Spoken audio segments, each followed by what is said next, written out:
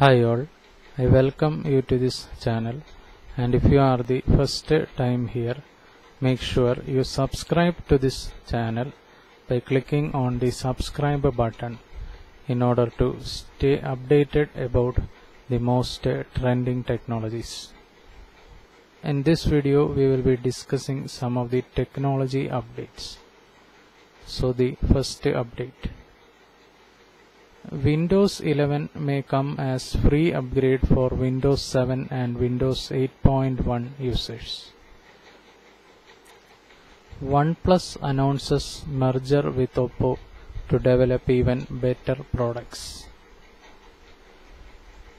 Vivo V21e 5G specifications tipped ahead of launch.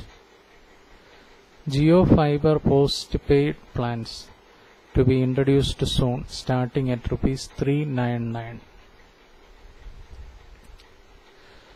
Dell Inspiron 14 2-in-1, Inspiron 15 and Inspiron 13 laptops launched. OnePlus Nord CE 5G receiving Oxygen OS 11.0.2.2 with the May 2021 security patch and camera improvements. Motorola Defy Rugged smartphone specifications run and renders surface online. Audible brings free access to Sleep series on Amazon Echo, Fire TV and other Alexa devices. Realme Narzo 30 5G Realme Narzo 30 32 inch Realme Smart TV launch date set for June 24 Jio continues to lead on 4G download speed and Vi competes with the highest upload speed.